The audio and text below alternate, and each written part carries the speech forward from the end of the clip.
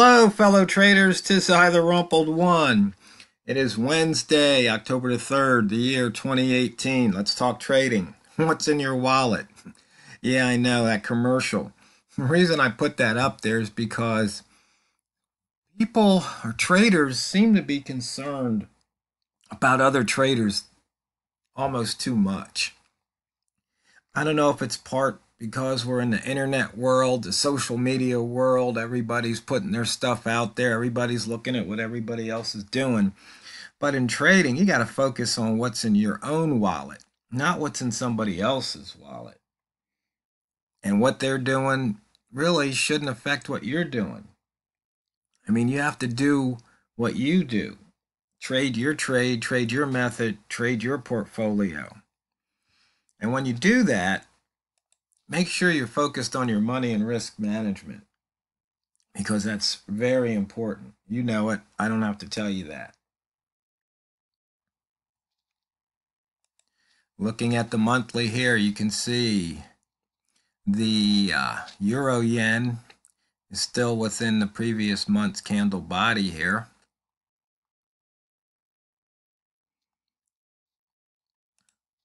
And on the weekly chart, you see we're now in the lower wick zone.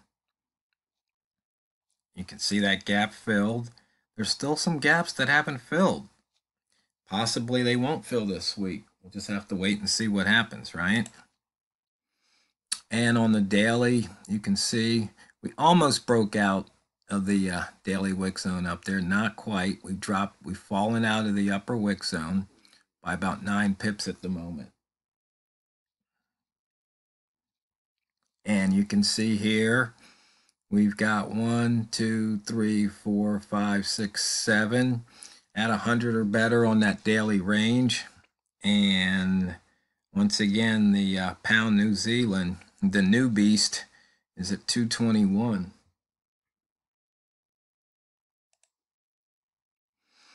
And you can see here we took out the pivot. That was either a profit or a scratch.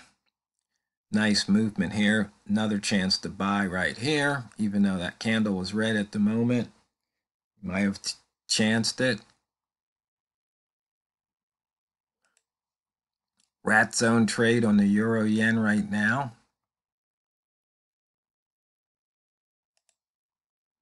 Once again, we took out the pivot.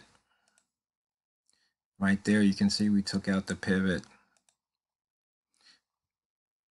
Price action trading. Okay, here we go. We've got a Larry live trade here. One ball looking for red at the line right there.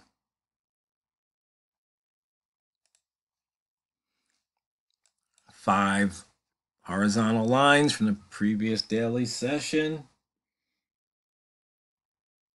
And you can see right there, once again, Profitable trades trading at the line right there, exiting that lower wick zone.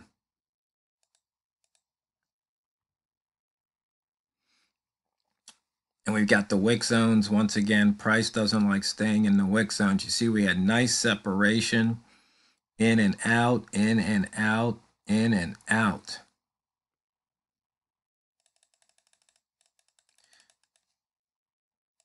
Maybe I should put make a video what's on your screen. We kind of do that every day anyway. So you can see the holo set up right from the get-go. It shot through that open. One opportunity there to take the short.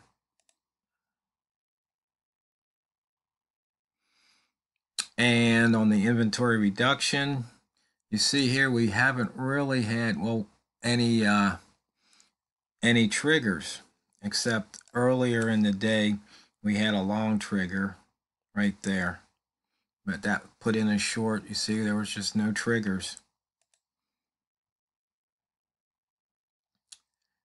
And on the euro yen here once again previous daily weekly monthly open high low. Just trading those lines right here the weekly low. Nice profit there coming through the previous days open back the other way.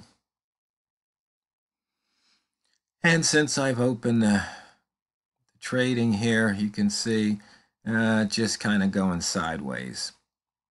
Price really is just moving this way. You can see here we had a trigger, not much to be had. So that's it, fellow traders. I'll make it short and sweet today. Remember, focus on what's in your wallet, not what's in somebody else's. Because it's not what you trade, it's how you trade it. Let's continue the draining of the banks.